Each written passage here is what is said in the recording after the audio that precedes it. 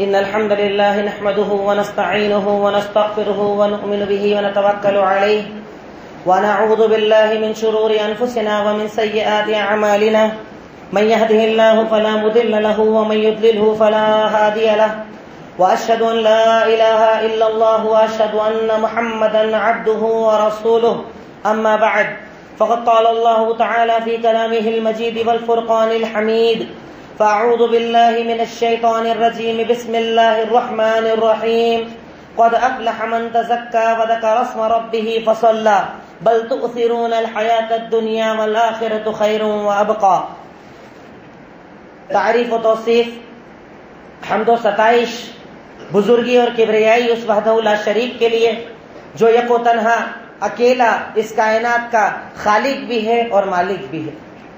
اور اس کے بعد انگنت بے شمار درود و سلام سب سے آخری نبی، سید المرسلین شافی محشر، ساقی کوثر، احمد مشتبہ محمد مصطفیٰ صلی اللہ علیہ وسلم کی ذات گرامی پر۔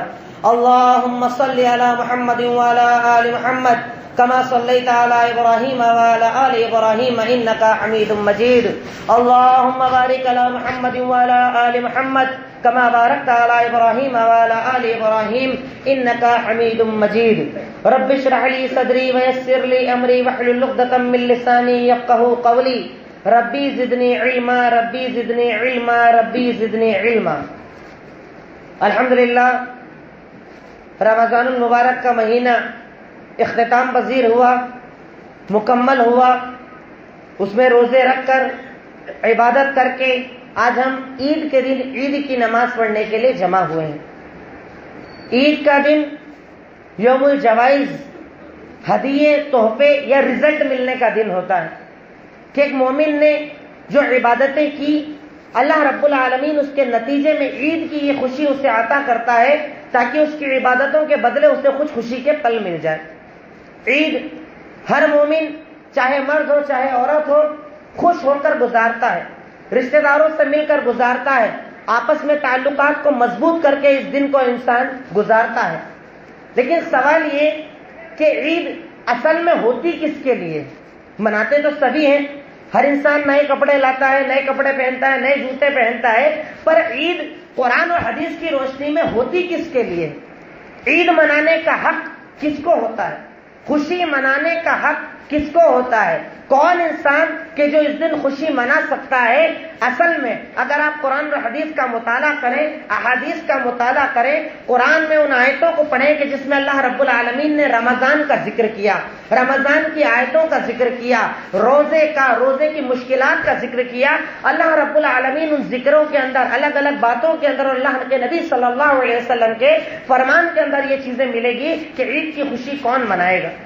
عید کی خوشی وہ منائے گا کہ جس نے روزے کو اس کے مقصد کے ساتھ رکھا ہوگا۔ کہ آپ نے دیکھا؟ رمضان کا مہینہ آیا، اس سال شدت کی گرمی تھی، بہت زیادہ گرمی۔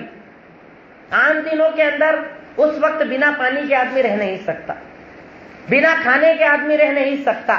اپنی ذمہ داریاں، اپنی مصروفیات کو ادا کرتے ہوئے اسی گرمی کے اندر جو انسان بھوکا رہا، جو انسان پیاسا رہا اللہ تعالیٰ کی رضا کے لیے کہ ظہر میں نماز پڑھنے آیا کلی کے لیے منہ میں پانی ڈالا تھا، پر اللہ تعالیٰ کی رضا کے لیے اسے منہ کے اندر نہ لیتے ہوئے باہر پھینک دیا تھا، جبکہ کوئی دیکھنے والا نہ تھا۔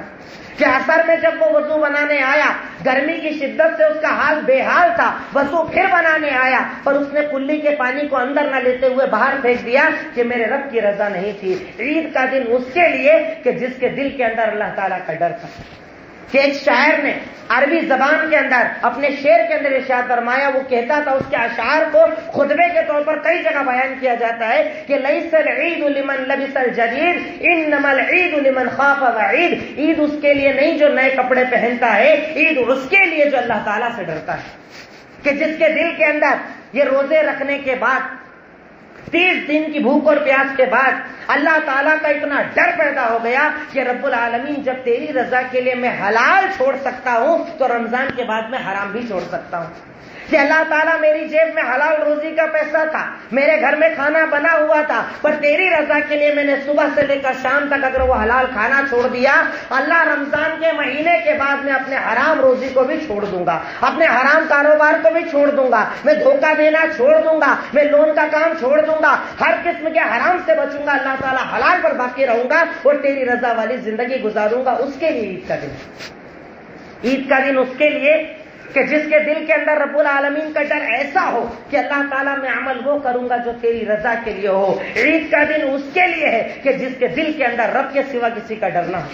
دنیا کا ڈر مخلوقات کا ڈر ذمہ داروں کا ڈر یا طاقتوں اور حکومتوں کا ڈر، ایسے انسان کی عید کا دن نہیں۔ رب العالمین کی نظر میں، قرآن کی نظر میں، حدیث کی نظر میں اللہ تعالیٰ قرآن کے اندر کہتا ہے کہ یہ تو شیطان ہے، یہ تو شیطان کے ولی ہے جو تمہیں شیطانوں سے ڈراتے ہیں۔ اصل میں مومن وہ کہ جو اللہ تعالیٰ سے ڈرنے والا اور اللہ کا خوف اپنے دل کے اندر رکھنے والا ہے۔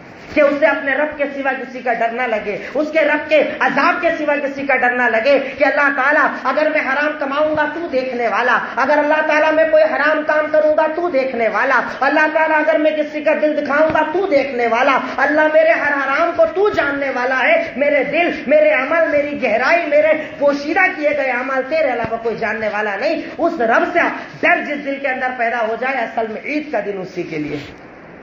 کہ اللہ تعالیٰ اس رمضان کے اندر جہاں کئی نوجوانوں نے بھی روزے چھوڑ دیے تھے، طاقتور لوگوں نے روزے چھوڑ دیے تھے، اگر اللہ تعالیٰ میں بھوکا اور پیاسا تھا، تو اس عید کے دن مجھے وہ خوشی مل رہی ہے کہ میرے دل کے اندر تیرا ڈر آ گیا ہے، میرے دل کے اندر تیرا خوف آ گیا ہے۔ اللہ تعالیٰ ان تیس دنوں کے اندر میری وہ ٹریننگ ہو گئی ہے کہ ان تیس دنوں کے بعد اگلے گیارہ مہینے انشاءاللہ میں تیری رضا پر گزاروں گا، انشاءاللہ میں تیری رضا پر گزاروں گا۔ اے اللہ تعالیٰ میں تیرے دین پر گزاروں گا۔ اے اللہ تعالیٰ، تو نے جو چیزیں جن چیزوں کا حکم خود دیا یا تیرے نبی کے ذریعے دیا، اللہ تعالیٰ ان چیزوں کو اپنی زندگی بنانے کی کوشش کروں گا۔ اصل میں عید کا دن اس کے لیے ہے کہ لمن خاف عید جس کے دل کے اندر اللہ تعالیٰ کا ڈر، اس کا خوف، جہنم کا ڈر، قبر کا ڈر پیدا ہو جائے کہ اللہ تعالیٰ اس رمضان کے اندر میں نے کئی اپنے عزیزوں کو دیکھا کہ جن کا انتقال ہو گیا۔ پچھلے رمضان، پچھلی عید میں وہ ہمارے ساتھ موجود تھے۔ اللہ تعالیٰ اس عید میں وہ موجود نہیں۔ اللہ تعالیٰ میں نے یہ جان لیا کہ دنیا کی سچائی کتنی ہے۔ اللہ تعالیٰ میں نے جان لیا کہ دنیا کتنے دن کی ہے۔ اللہ تعالیٰ میں نے یہ جان لیا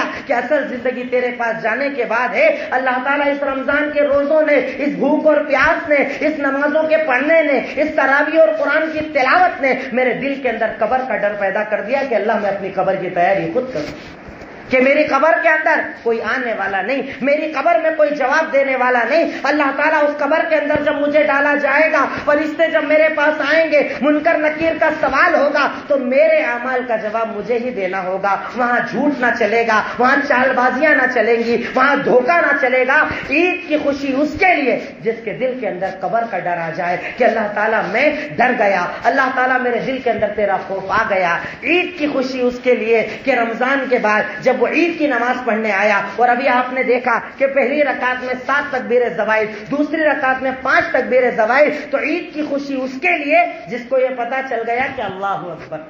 اللہ ہی سب سے بڑا ہے اور میں اپنی ہر تقریر کے اندر تقریباً یہ بات رکھتا ہوں۔ میں نے کئی ویڈیوز وہاں سے بھیجی۔ تب بھی میں نے اس کے اندر یہ بات رکھی کہ آج کے مسلمان میں نے جب وہاں گیا، ابھی الحمدللہ ایک مہینے تک مکہ مدینہ کے اندر رہا، الگ الگ ملکوں کے لوگوں کو دیکھا۔ ان ملکوں کے بھی لوگوں کو دیکھا کہ جن پر چاروں طرف سے ظلم ہو رہا ہے۔ میں نے ایک عجیب چیز دیکھی کہ اتنے معاملات کے بعد، اتنے ظلموں کے بعد ان کے اندر یہ چیز تو آ گئی کہ اللہ اکبر، اللہ ہی سب سے بڑا اللہ سے بڑی کوئی طاقت نہیں کہ نہتے ہیں، پر سالوں سال سے ان کے سامنے کھڑے ہیں کہ جن کے پاس ساری طاقت ہے۔ کیونکہ اللہ اکبر انہیں یقین، اللہ سب سے بڑا ہے، اللہ سے بڑی کوئی طاقت نہیں، اللہ سے بڑی کوئی قدرت نہیں۔ انہیں یہ پتا ہے کہ رمضان کا مہینہ جب آیا، رمضان کے مہینے وہ دن بھی آیا کہ سترہ رمضان کا وہ دن کہ جس دن رب العالمین نے تین سو تیرہ کو جیت دی تھی، تین سو تیرہ کو جتایا تھا۔ جو نہتے تھے، کمزور تھے، کھانا پینا نہیں تھا، ایک ہزار ان لوگوں کے مقابلے میں جتایا کہ جن کے پاس دنیا کی ساری طاقتیں تھیں، عید کی خوشی ان کے لیے کہ جن کے دلوں کے اندر یہ احساس کہ اللہ اکبر، اللہ ہی سب سے بڑا ہے۔ عربی میں شاعر کہتا ہے لئیس العید لمن رقب المتایا انما العید لمن ترک الخطایا۔ عید کی خوشی اس کے لیے ہے، اس کے لیے نہیں کہ کتنی اچھی گاڑی پر یہاں پر آیا ہے۔ کتنی بڑی گاڑی اس کے پاس ہے، کتنی بڑی سواری اس کے پاس ہے۔ عید کی خوشی اس کے لیے ہے کہ جس نے اس عید کے دن یہ وعدہ کر لیا کہ اللہ گناہ چھوڑ دیے۔ اللہ خطا چھوڑ دی۔ اللہ حرام چھوڑ دیا۔ اللہ اس روزے نے مجھے یہ سکھا دیا ہے کہ اگر میں تیرے راستے پر ہوں تو مجھے کوئی تکلیف دینے والا نہیں۔ اللہ دنیا کی خوشیاں، اللہ دنیا کی طاقتیں، اللہ دنیا کے عیش و عشرت سب تو مجھے دے گا اگر میں تیرے دین کے راستے پر رہوں گا۔ اللہ میں نے اس روزے کے اندر یہ جان لیا کہ وہ صحابہ کرام کہ ہجرت کر کے جب مکہ سے مدینہ آئے، بھوکے پیاسے یہاں تک کہ کپڑوں تک کو چھوڑ دیا، مال، دولت، عزت سب کچھ چھوڑ کر آ گئے۔ اللہ تعالیٰ سن آٹھ ہجری کے اندر ان صحابہ کرام کو تو نے مکہ کا حق حاکم بنا دیا تھا۔ اللہ تعالیٰ حضرت عمر کا زمانہ آتے آتے مال غنیمت اتنا آتا تھا کہ مدینہ کے اندر کوئی ایسا انسان نہیں ملتا تھا جسے زکات دی جائے۔ سب زکات دینے والے تھے۔ زکات لینے والا نہیں ملتا تھا۔ اللہ تعالیٰ کہتا ہے کہ اگر تیرے دل کے اندر میرا ڈر، میرا خوف ہے تو نے گناہوں کو چھوڑ دیا ہے، تو میں آخرت بھی دوں گا اور دنیا بھی دوں گا، کیونکہ عثمان غنی کو میں نے دنیا بھی دی۔ تھی عبد الرحمان ابن عوف کو میں نے دنیا بھی دی تھی، دنیا بھی دوں گا اور آخرت بھی دوں گا۔ اگر تو نے گناہوں کو چھوڑنے کا ارادہ کر لیا ہے، اس کے آگے شاعر کہتا ہے لئی العید لمن تبخر بالعود کہ اس کے لیے عید کی خوشی نہیں کہ کتنا اچھا عطر لگا کر آیا۔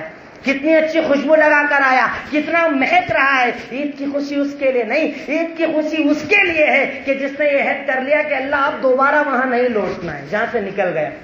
جہاں سے نکل گیا نا، جو گناہ چھوڑ دیے نا، جو حرام چھوڑ دیے نا، اللہ تعالیٰ میں اس کی طرف لوٹنے والا نہیں، کیونکہ میں نے رمضان میں توبہ کر لی ہے۔ اللہ تعالیٰ میں نے رمضان میں معافی مانگ لی ہے۔ اللہ للت القدر میں میں نے رو رو کر معافی مانگی ہے۔ اللہ تعالیٰ دعاؤں کے اندر قرآن کی تلاوت کے بعد رات جاگنے کی ہو یا سونے کی ہو، ہر روزے کے پہلے میں نے ہاتھ اٹھا کر یہ کہا ہے کہ اللہ اب تک جو ہوا سو ہوا۔ پر میں اب وہاں نہیں لوٹوں گا۔ اب ان گناہوں کی طرف نہیں لوٹوں گا۔ عید کی خوشی اس کے لیے ہے کہ جس نے گناہوں سے جب توبہ کر لی تو اب دوبارہ نہ لوٹنے کا عید کر لیا کہ اللہ میں وہاں نہ لوٹوں گا۔ اللہ میں وہ گناہ نہ کروں گا۔ اللہ چاہے گناہ کی دعوت ملتی رہے، گناہ کے راستے کھلے رہے اللہ تعالیٰ چاہے گناہ مجھے آسان نظر آئے، پر میں نے یہ عہد کر لیا کہ میں اب گناہوں کی طرف نہ لوٹوں گا۔ اللہ میں حلال پر باقی رہوں گا۔ اصل میں عید کی خوشی ان لوگوں کے لیے ہے کہ جن کے دلوں کے اندر اللہ رب العالمین ہے، جن کے دلوں کے اندر قرآن ہے، جن کے دلوں کے اندر حدیث ہے، جن کے دلوں کے اندر اللہ کی عظمت کا بھی احساس ہے اور اللہ کے نبی کی نبوت کا بھی احساس ہے۔ ان دلوں کے اندر یہ یقین ہے کہ میرا رب ہی دینے والا، میرا رب ہی عطا کرنے والا، میرا رب ہی چلانے والا، میرا رب ہی مارنے والا۔ مجھے ڈر ہے تو اپنے رب کا، مجھے اپنے رب کے سوا کسی کا ڈر نہیں لگتا۔ اللہ کے نبی صلی اللہ علیہ وسلم کی یہ سنت تھی کہ عید کے دن آپ مختصر سا خطبہ دیتے تھے، بڑا شارٹ چھوٹا سا خطبہ دیتے تھے۔ مختصر خطبہ الحمدللہ ہم لوگ بھی دیتے ہیں پر اس میں ایک اہم چیز ہوتی ہے دعا۔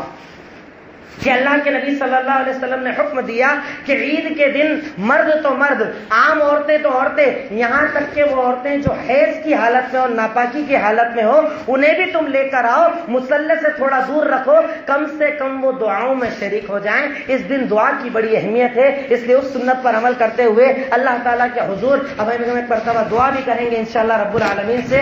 جو بھی مسائل آج ہمارے سامنے ہیں، بالخصوص امت مسلمہ کے وہ حالات جو ہم لوگ قریب سے دیکھ رہے ہیں جان رہے ہیں کہ حالات کیا ہے۔ آج ہم لوگ عید منانے جاتے ہیں۔ ابھی آپ بھی اپنے گھر میں جائیں گے، میں بھی جاؤں گا۔ پلیٹ لگی ہے، نعمتیں لگی ہے، پر کئی گھر ایسے ہیں کہ جن کے گھر ہی موجود نہیں ہیں۔ نعمتیں چھوڑیے پلیٹ چھوڑیے، کسی کا باپ نہیں ہے، کسی کی ماں نہیں ہے، ان کے گھروں کے حالات صبح شام کے وہ حالات نہیں جانتے کہ ابھی یہ ہے، شام کو کیا ہو جائے گا؟ ایسے مومنوں کو اپنی دعاؤں کے اندر یاد رکھیے، ہم لوگ مل کر اللہ تعالیٰ کے سامنے جھک کر ہاتھ اٹھا کر اللہ تعالیٰ سے دعا مانگتے ہیں انشاءاللہ۔ اجتماعی طور پر اللہ تعالیٰ اجتماعی دعاؤں کو زیادہ قبول فرماتا ہے۔